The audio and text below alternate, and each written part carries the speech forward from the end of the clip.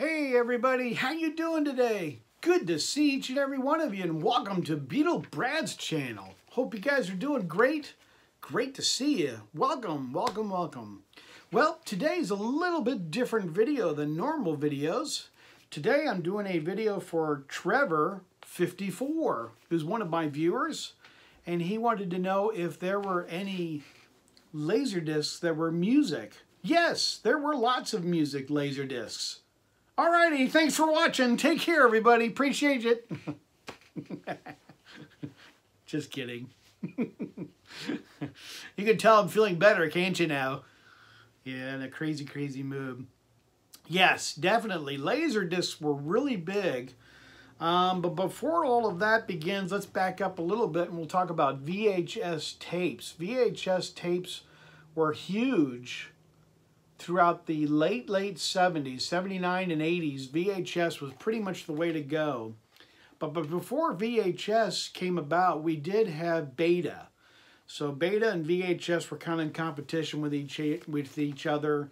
And then kind of a little bit earlier in the 80s, we got Laserdisc. And then Laserdisc was supposed to be a lot better quality and a lot better uh, material. And, and at that time, they were mostly all movies um, were laser discs. So VHS had a competition with all of that. But the big issue with Laserdisc was um,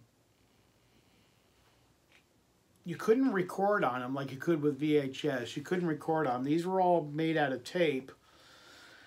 And as I'll show on my laser discs now, we'll go through some of these. These I don't have many on music, but the mu the movies were the biggest thing. The movies were a big deal back then, and they were very very expensive back then as well. Uh, movies would cost you like $130 in between there, 115 and 130, whereas was about the going price for like a Star Wars or Indiana Jones, some of the bigger movies. Um, Laserdisc really didn't have too many music ones. And then they kind of tapped in a little bit to the market in music and realized that maybe there was a market there. Uh, but Laserdisc were about the same size as vinyl records, uh, size-wise, but the cardboard was a little bit thicker on these than they were. But let's let's get started, and I'll show show all of you uh, some of the ones that I've got. Like I said, I don't have many, but um, what I do have, uh, maybe you'll enjoy and kind of get an understanding a little bit more about Laserdisc. So the first one I've got is Paul McCartney, Give My Regards to Broad Street. This is the movie on Laserdisc. Kind of gives you a rundown there of the whole film itself. Um, and I got this from a store that was going out of business at the time. So mine, when I bought this, was was many years later after Broad Street came out. So I got it for a very good price. And the great thing about laser discs were, this is what they looked like. And then when you played a laser disc, you played side one, and then when the movie was over, it'd say end of side one, and then you'd have to get up and go flip it over, and then you'd play side two. Um, and the neat thing was you can handle these. Unlike CD and records and all that kind of stuff, it really didn't matter if you handled these. These were a lot more durable. I know you guys are freaking out going, Beatle Brad, you've got oils on your fingers and you're going to break them down and it ruins them. These are very, very thick. They don't wobble like records. And so when you touch these, these really don't have any effect on the quality or breaking them down or anything like that. These, these were very made to last, very durable, strong looking laser discs. And laser discs, for the first time ever, laser discs came out in Dolby Digital Sound, which back then that was extremely high tech to have digital Dolby. Um, I'll put this back a little bit better later. so it's kind of a big deal to have something like that that was that good a quality and that terrific. Uh, the next one was Paul McCartney's Liverpool Oratorio. This was his classical that he did. Um, and this is still in the original shrink wrap, as you can see. Um, and actually, this is quite good. The laser disc is really pretty fantastic. Uh, this has a gatefold. I'm not going to open it for you because the gatefold, I'd, I'd be breaking the plastic and tearing that apart. And I don't, I don't want to do that. But I'll just show you just real quickly. All pretty much all laser discs are the same. They've all they're all got that that shiny glass look to them, mirrored look. Um, and these were pretty much the the beginning days of before uh, before DVD even came about. We had these. So this was kind of an early forerunner uh, before DVD and Blu-ray. I know a lot of you can't believe it, and it's kind of hard to think that you know it's still around. And there's a few collectors who still have a few of them and still keep them. Um, the quality of them are, are good. It's better than VHS, like I was showing you, because you got that tape with VHS, and the tapes had tendency to break, and the beta the tapes broke just as well. Um, with these, with the laser discs, these were actually really durable and they really didn't break. You really can't scratch them, unlike CDs where you could kind of run your hands over them on, you know, with all of that. You have to gouge these pretty good before they do scratch. You know, like you can scratch a CD and a DVD pretty well. These won't scratch that much. Um, they'll still play. The Elvis 68 Comeback Special, there's a lot of stuff on 68 right now. So uh, this is a really cool copy of the Elvis 68 Comeback Special. I'll show you the back there. Um, these really never had anything different as opposed to the movie. I'll just show you the, this. This was uh, kind of a neat one to have. Um, I was happy to find, a friend of mine found this for me, and I appreciate him finding it for me because I was really glad to get it. 68 Comeback Special. Uh, but these were never really had anything special. You know, like with DVDs, you've got extra footage and you've got outtakes and you've got the trailer and you've got commentary and stuff like that. These never had that. Laserdiscs basically had the movie or the music video and then that was it. Um, once in a while, you would get a movie one that did have a trailer on it, and that was a big deal, real big deal to, to get one of these that had a trailer but a lot of them never had trailers, and if they did, that was kind of a kind of a rare thing. Um, then this is uh, my next one, which is Elvis. Uh, that's the way it is, isn't it? Oh no, Aloha from Hawaii. Excuse me, I, I'm totally wrong. Aloha from Hawaii. Um, and this is in its original shrink wrap, which is still kind of cool to have it in the original shrink. There's the backing on that. There's the disc. I know your next question, you're sitting here watching these and you're gonna getting ready to ask me, so you don't need to type it because I know you're getting ready to ask. your question is, do you still have your Laserdisc player? Yes, I still do have a Laserdisc player. Um, it's hooked up to the TV and all that kind of stuff. I don't watch it that much anymore. It's it's kind of it's kind of obsolete in lots of ways to where you have to get a you know, laser disc out and all that kind of stuff. But it was it is fun to watch them, and it is fun to see the difference in these laser discs. Uh, this next one is Jailhouse Rock, and this is really cool because this is actually a very good copy in black and white. I know black and white's black and white, but this for some reason is just a little higher quality black and white than your normal black and white. so it's a different black and white than the other black and white. Did you follow all that? I didn't think so. Neither did I. it's just black and white, okay? Get off my back. Jailhouse Rock is pretty cool. All right, and then one of the big things that was great about Laserdisc was they would come up with music videos, and MTV at that time was a really pretty new. So Laserdisc was trying to compete a little bit with um, MTV. And so this, this next Laserdisc is The Police. And these were music videos and they put out uh, concerts and all kinds of other stuff. And this was kind of kind of cool to get as well. So I, you know, was glad to get that one. That's that's pretty neat. Um, the quality of this is nice. It's it's okay. You know, it's you know the advertised laser disc and you know digital and Dolby, and you know, all those were big new big words at the time. You know, back then that was that was expensive and high tech. Um, these music ones, like I was telling you, uh, movie Laserdiscs were around 120, 130 and through there, pretty much for the movies. Um, but a lot of the ones like this one were very pricey and hard to get. These were like $95. And we're talking about in the 80s. That's still a lot of money to be putting out for a movie or a DVD, well, DVD, excuse me, or a laser disc of music. You know, we're so used to saying DVD that, you know, you don't think of laser discs anymore. Like I said, it's just got that mirror imaged. But it's got all these stickers on here talking about, you know, the the Dolby and stereo. And stereo was, was huge back then because VHS took a lot longer for them to become uh, stereo than laser disc players. They never made a Laserdisc recorder. I think that was one of the things that kind of hurt Laserdisc was there weren't any recorders. But I think if you ended up buying a recorder, it would have been frightfully expensive because the players were well over a thousand dollars back in the '80s.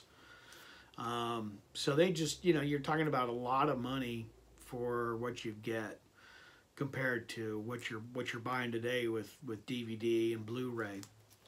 Um, this next one is Japan, from Japan, and this is John and Yoko uh, kind of story. This is really pretty cool. This is actually quite rare. Um, far as I know, this has never come out on DVD. Maybe somebody could tell me if it has or not. But I, I don't think this came out on uh, DVD. Now, you know, then again, there might be a Japanese copy of it out there. That sure could could well be, but I've I've transferred this over. And here's like the inner paper. But you know, they also came out with, uh, you know, just Beatle-wise. There was Magical Mystery Tour on DVD and Let It Be. I, I recently was on an auction and almost won a Laserdisc copy of Let It Be, which would, would have been kind of fun. I've got Let It Be on DVD, but I don't know, kind of having the laser disc. I mean, there was the Bee Gees Sergeant Pepper, and there was Yellow Submarine and Complete Beatles and First Visit. You know, there were a lot of different ones. Ready, Steady, Go with the British Invasion. Um, there were a lot of different, really, really good laser discs out there that were pretty, pretty darn cool that they manufactured and made. Now, there's this next one Okay, this is Time Bandits. It's a movie. Stay with me. I'm going somewhere with this. you're saying, Beatle Brad, you're showing music. Now you're showing uh, Time Bandits, which was a great, great movie. Uh, George Harrison put the music for this of Time Bandits, which is an interesting movie. It's actually pretty, pretty good. It's really kind of zany, that's for sure. But this is the laser disc of the movie with, with George Harrison. So that's kind of why it's in my music stuff because George was a part of it.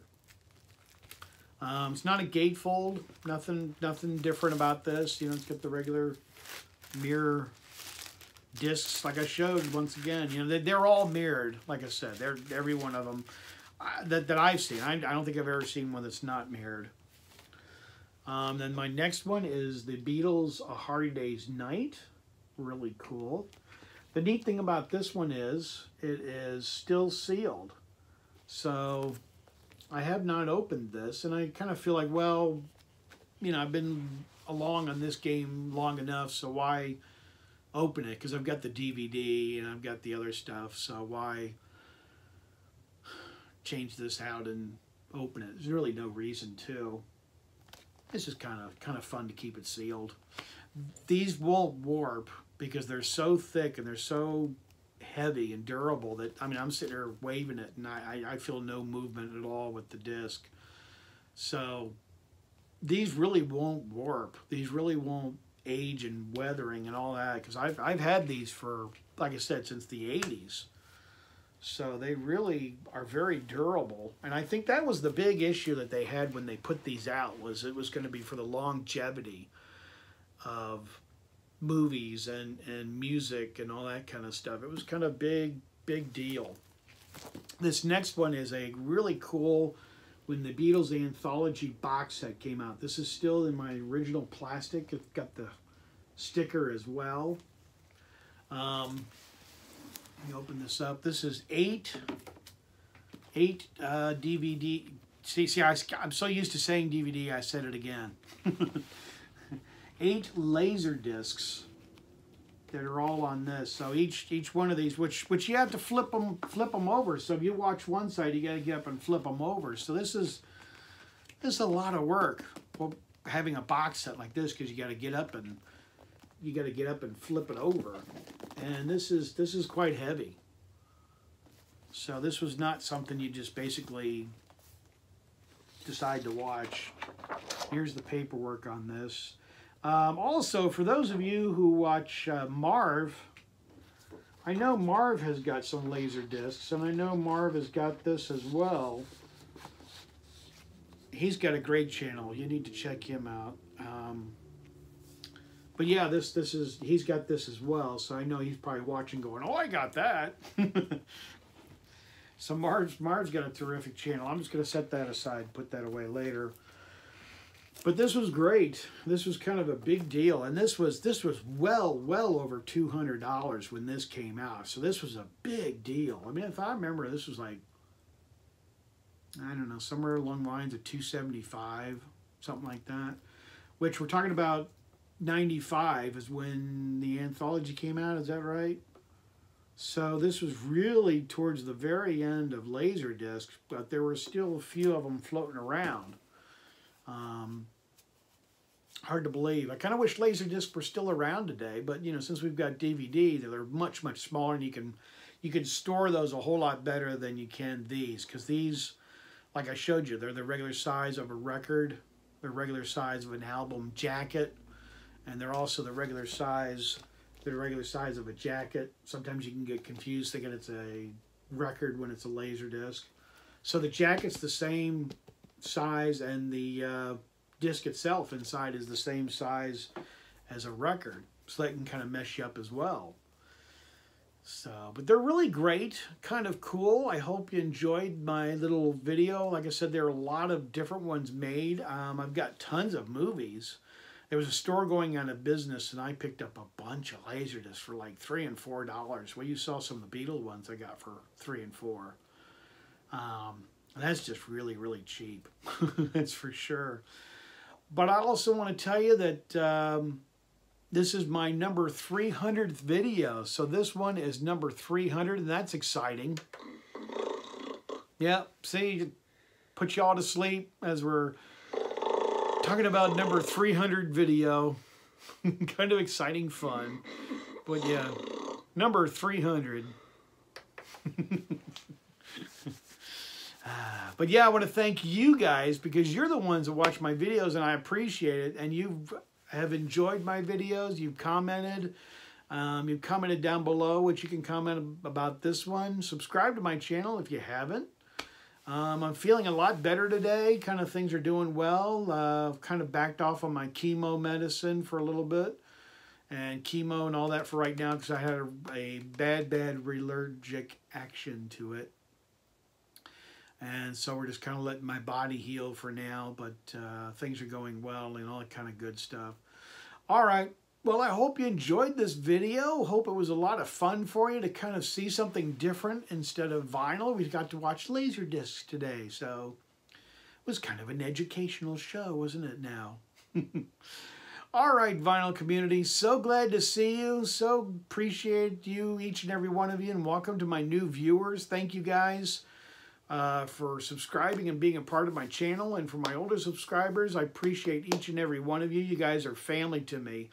Um, you really are. So I appreciate you guys being here and I appreciate you commenting. And uh, we're getting ready for Christmas. Here we go. Getting ready for the season, that's for sure. So excitement and fun and a thrill and all that kind of stuff. But we definitely want to keep the real reason of Christmas in perspective.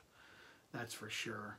So, but anyway, alrighty, everybody. Appreciate each and every one of you. And as I say on my channel, I am out of here. Take care, everybody. Great to see you. Take care.